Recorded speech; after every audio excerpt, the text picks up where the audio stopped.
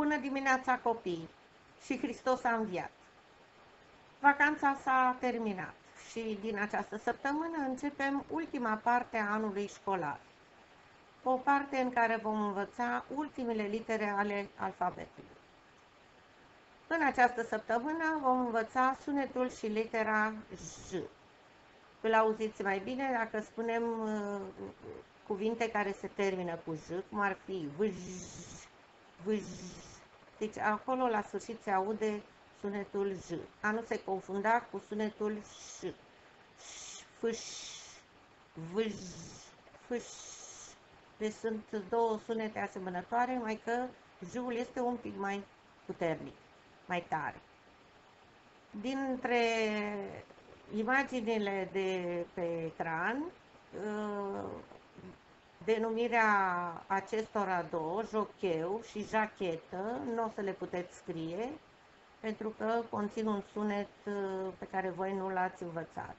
Celelalte, iată, plajă, jucării, atenție, se scrie cu 2 i la sfârșit, jucării, nu cu un i, Jaguar, acesta este un jaguar, uh, este un animal sălbatic care nu trăiește la noi în țară. Geleu, cred că toți ați mâncat uh, acest geleu, este făcut din fructe uh, cu gelatină, tremur așa ca piftia. Junglă, o pădure foarte deasă în zonele, în zonele ecuatoriale, Uh, și tropicale care, uh, în care trăiesc foarte multe animale. Jar, da? Ceea, partea aceasta din lemne sau cărbuni care este roșie, arsă. Jongler este personajul de la circ care uh, jonglează cu tot felul de obiecte. Jambon, această parte a pulpei porcului Uh, afumată și care, iată, e rotundă, așa, se taie în felii, îl găsiți la alimentară. Dintre zilele săptămânii, în acest trenuleț avem o zi care începe cu J, este ziua de joi. Jupiter, este, atenție, se scrie cu literă mare, este denumirea planetei din sistemul nostru solar care se învârte în jurul Soarelui. Oja ojă pe care mama o folosește la vopsirea unghiilor și aici avem coj de nuci, coj un singur i, coj, da? La sfârșit, deși se aude foarte slab, trebuie scris coj, coj de nuci sau de orice alt uh, fruct. Uh, aici v-am pregătit de citit, deci doar de citit, le puteți citi de pe ecran, uh, cuvinte care conțin sunetul J. Aici sunt uh, cuvinte care, care J-ul îl vedeți la sfârșit, aici este la început, aici avem o coloană de cuvinte care se scriu cu literă mare, uh, sunt cuvinte, nume de persoane, de țări, de animale, de ape, localități, cuvinte care au pe J la mijloc și iarăși la început. Pentru că unele din aceste cuvinte, iată, jilț, jad, nu le cunoașteți, v-am pregătit câteva imagini care să explice înțelesul cuvântului.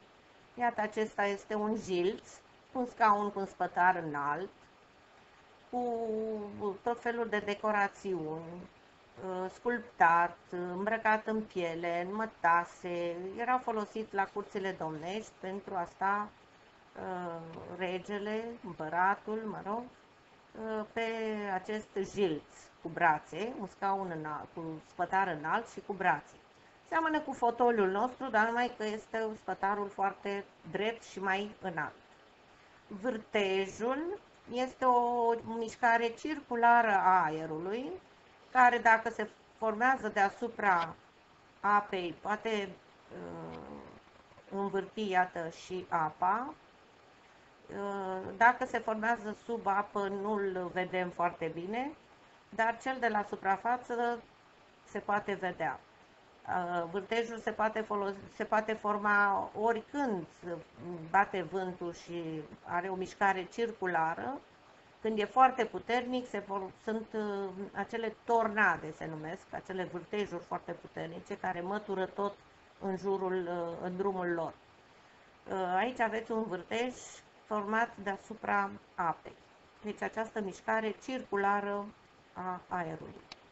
Jadul este o, un, o piatră semiprețioasă, folosit de regulă la confecționarea obiectelor de artă, dar și bijuterii, cum sunt aceste mărgele. Jirul, jir, este acest fruct, fructul fagului.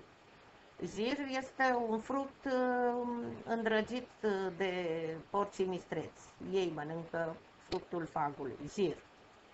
Jalon este acest obiect pe care l-ați întâlnit și în sălile de sport, în sala de sport sau pe stradă unde se marchează o anumite zone închise pentru lucru sau pentru vopsit uh, zebra și așa mai departe. Pajura este acest, uh, această pasăre, este un vultur, pajură, da? care trăiește și la noi, în zonele montane. Pajul, paj, da? Este acest tânăr nobil care trăia pe la curțile domnești, pe lângă rege, pe lângă domnitori și învăța normele de comportare și de mânuirea, mânuirea armelor. Vrejul, țineți minte sau dacă nu știți, este o poveste, Jack și vrejul de fasole, de aici am scos și imaginea, Vrejul de fasole este tulpina plantei care crește înaltă și uh, se agață. Vrej. Viraj, această mișcare în curbă, o întoarcere la stânga sau la dreapta, în curbă, se numește viraj. Jartieră este această, acest obiect care este un elastic decorat cu dantelă și cu care femeile își prind, își prind ciorapii. Se mai folosește și în zilele noastre, dar uh, era foarte des întâlnită în trecut.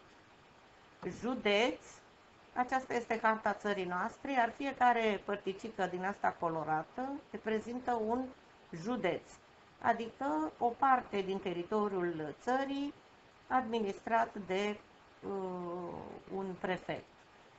Ehm, aici avem județ Bucureștiu cu județul Ilfov. Ați auzit de județ. Deci o împărțire uh, a teritoriului țării în mai multe uh, părți administrative. Birjar este acest personaj, acest om care conduce o trăsură. El stă sus, se numește, partea asta pe care stă se numește capră, da? să iată un alt înțeles al cuvântului capră și conduce trăsură, conduce cai pe, înhămați la trăsură. Și joben este acest tip de pălărie uh, în mai înaltă, cu boruri scurte. Bun. Uh, cam atât uh, la sunetul și litera J.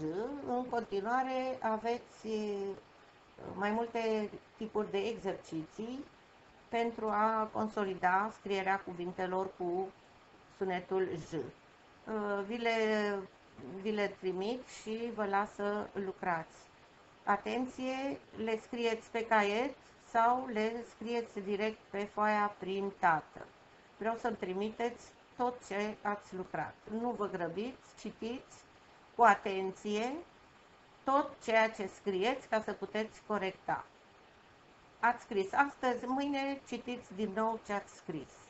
Numai așa veți, vă veți da seama de greșelile făcute, dacă ați mâncat vreo literă, dacă ați scris greșit o propoziție și așa mai departe.